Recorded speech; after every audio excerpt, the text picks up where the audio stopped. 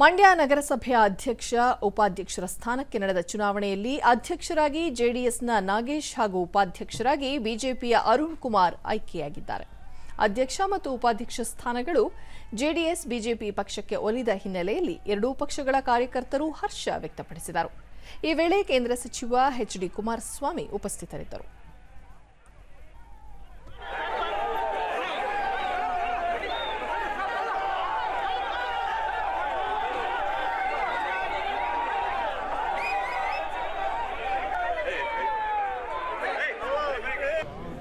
ಬಳಿಕ ಸುದ್ದಿಗಾರರೊಂದಿಗೆ H D Kumaraswamy.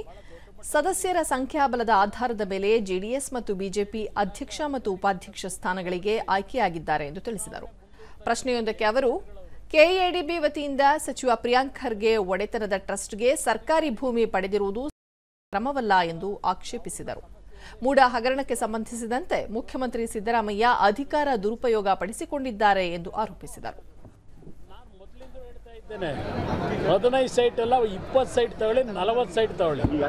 ಕಾನೂನು ಪ್ರಕಾರವಾಗಿ ನಿಮ್ಮ ಒಂದು ಪ್ರಕರಣದಲ್ಲಿ ನಿಮ್ಮದೇ ಸ್ವಂತ ಜಮೀನಿದ್ದು, ಆ ಜಮೀನಲ್ಲಿ ಇವತ್ತು ಏನಾದರೂ ಸರ್ಕಾರ ವಶಪಡಿಸ್ಕೊಂಡಿದ್ರೆ, ನಿಮಗೆ ಪ್ರಾವಿಷನ್ ಏನಿದ್ರೆ ಅದ್ರ ಪ್ರಕಾರ ತಗೊಳ್ಳಿ, ನಂದೇನು ಅಬ್ಜೆಕ್ಷನ್ ಇಲ್ಲ. ನಾನು ಅದಕ್ಕೆ ಎಂದೂ ಸಹ ವಿರೋಧ ಮಾಡಿಲ್ಲ. ನಾನು ಹೇಳ್ತಕ್ಕಂಥದ್ದು, ಆ ಪ್ರಕರಣದಲ್ಲಿ ಸುಳ್ಳು ದಾಖಲೆಗಳು ಸೃಷ್ಟಿ ಮಾಡಿರೋರು ನೀವು. ಅಧಿಕಾರಿಗಳನ್ನು ದುರುಪಯೋಗ ಪಡಿಸ್ಕೊಂಡಿರೋರು ನೀವು. ಅವ್ರ ಗಾಡಿಯನ್ನ ಪೊಲೀಸ್ ಸೆಕ್ಯೂರಿಟಿ ಕಾಂಗ್ರೆಸ್ ಶಾಸಕ ಗಣಿಗ ರವಿಕುಮಾರ್ ಜೆಡಿಎಸ್ ಮತ್ತು ಬಿಜೆಪಿ ಅಡ್ಡದಾರಿಯ ಮೂಲಕ ನಗರಸಭೆಯಲ್ಲಿ ಅಧ್ಯಕ್ಷ ಉಪಾಧ್ಯಕ್ಷ ಸ್ಥಾನಗಳಿಗೆ ಆಯ್ಕೆಯಾಗಿದ್ದಾರೆ ಎಂದು ತಿಳಿಸಿದರು. ಗೆಲ್ಲದನ್ನ ಗೆಲ್ಲೋದನ್ನ ತಪ್ಪಿಸಿದ್ದಾರೆ ನಾವು ಸೋತಿಲ್ಲ. ಒಂದು ಓಟೆ ನಮ್ಗೇನು ದೊಡ್ಡದಿರಲಿಲ್ಲ ಎರಡು ಓಟಲ್ಲಿ ಗೆಲ್ತಿದ್ವಿ.